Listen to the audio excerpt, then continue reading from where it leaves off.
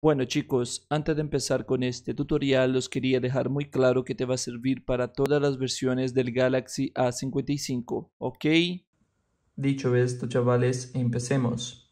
Para poder activar o desactivar el sonido de las notificaciones, ¿vale? Primero, si no te suenan las notificaciones y tienes que activar, vamos a presionar el volumen de más, ¿vale? Subimos hasta el máximo, le damos un clic a los tres puntitos y mirar que aquí hay otros tipos de volumen. Esto de aquí puede estar muy bajo, ¿vale? El sonido de las notificaciones este de aquí, que lo podemos bajar hasta el bajo del todo para quitar el sonido de las notificaciones. O si no, le damos otro clic aquí.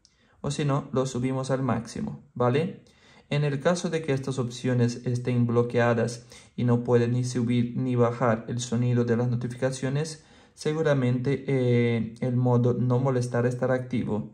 Entonces entraremos aquí en ajustes, notificaciones, bajamos hasta notificaciones y aquí ahora entonces iremos hasta no molestar. Si estas opciones están activas, es por este motivo que tu celular no suena las notificaciones y tampoco el sonido de llamada y etcétera. Estas opciones las tienes que desactivar, ¿vale? Las vamos a desactivar, ¿ok? Estas opciones, aparte de quitar el sonido de las notificaciones, también te van a quitar eh, el sonido de la llamada de tu, de tu celular. Así que no te recomiendo activarlo por aquí. Si quisieras quitar el sonido de las notificaciones, podremos venir aquí en notificaciones de aplicaciones y si quieres quitar el sonido solamente de una o unas cuantas aplicaciones. Aquí dentro buscaremos la aplicación que queremos quitarle el sonido, le damos un clic Claro que las notificaciones tienen que estar activadas. Para quitar el sonido de esta notificación ponemos silencioso y si está silencioso y quieres que suene, le damos aquí, ¿ok? Otro método, método para quitar totalmente el sonido de todas las notificaciones o quizás por este motivo que no te suena, sería venir aquí en sonidos de vibración. Aquí vamos hasta sonido de notificación, ¿vale?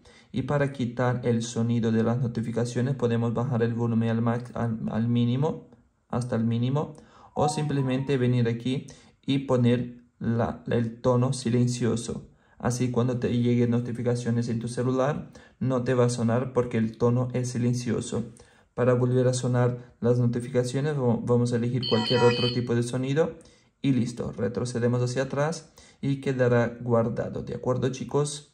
Pues nada chavales, si te ayudé, no olvides poner un me gusta al video, suscribiros al canal y nos vemos en el próximo video.